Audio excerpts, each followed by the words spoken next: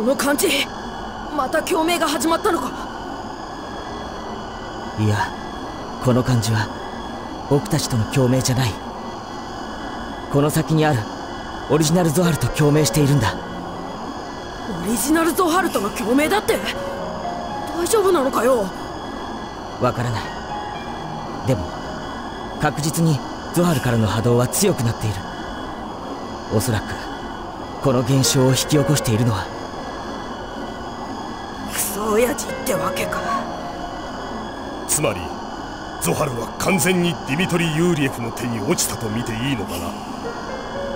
ゾハルの力の解放に伴って惑星消滅現象は加速度的に速くなっているみたいだ。いずれは星団連邦全域がそうなる前に彼を止めなければ。ああ止めてやるさ。ガイナを取り戻すためにもな